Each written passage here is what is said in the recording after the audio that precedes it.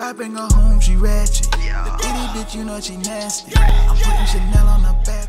What's good YouTube and welcome to another video of Put You On Game and in today's video we're actually going to be speaking about the Issa brothers on how they were able to acquire Asda on a 6.8 billion payout. What kicked off their career within the petrol industry was they formed a company called the EG Group, which stands for Euro Garages.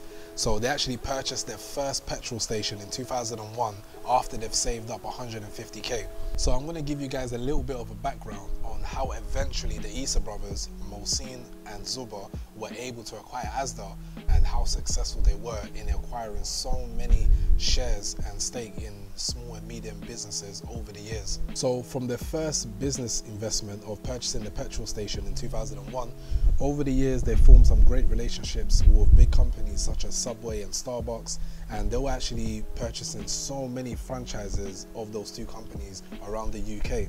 So they were expanding so much and they were doing so well that in 2015 they caught the attention of the private equity companies such as TDR Capital now, for those who don't know, TDR Capital is a huge private equity invest, investing firm where they pretty much invest into small and medium businesses and also as well Fortune 100 companies. So TDR Capital noticed that the Issa brothers are going places and they're purchasing so many businesses. So they also wanted a slice of a pie. So they, they actually invested millions into having a little small share into the EG group that is owned by the Issa brothers. For their first venture together, they acquired a Dutch retail group called Intervias, who were then later on to be renamed to EG Group. And then further, in November 2017, the Issa brothers and TDR Capital went to purchase over 1,000 gas stations from Esso in Germany.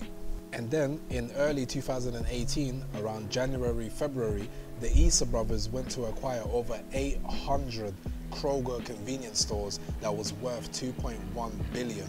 And then just a couple of months later, having great relationships, they went to purchase another thousand gas stations uh, of Esso in Italy. And then around the end of 2018, around November, the Issa brothers purchased around 540 convenience stores of Woolworths that was worth around 1.7 billion. And then a month later, around December, January 2019, the Issa brothers to acquire around 250 mini-mart stores for worth 330 million. And then coming towards the end of 2019, the Issa brothers actually came to agreement to actually buy out the company Cumberland Farms. And then around beginning of 2020, that's when the Issa brothers, having their company, the EG Group, they were actually able to become one of the number ones franchise owners for KFC in the UK and in Ireland. And what made them the number one franchise holders for KFC was the fact that they owned over 150 KFC chains around the UK and in Ireland. And then in 2019, the brothers actually announced that they're going to be opening up over 150 bakery chains with partnering up with a company called Cinnabon It's actually estimated that they will have around 240 bakery chains with Cinnabon by 2025. So as you can see, over the years, the two brothers have literally started off with one petrol station in 2001, and then up until today, having multiple, multiple businesses under their company, the EG Group. And what gave them a bigger breakthrough was when they partnered up with TDR Capital. Now, it's no brainer that eventually they were going to lead up to making an agreement to purchase Asda on a 6.8 billion payout with the TDR Capital in October.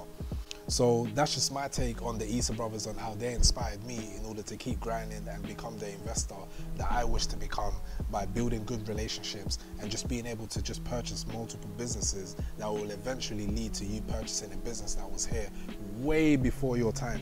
So that's just my take on the Issa brothers and how they were able to acquire Asda. Make sure you like, subscribe, and stay tuned for the next video because I'm gonna keep putting out these bangers on entrepreneur and business.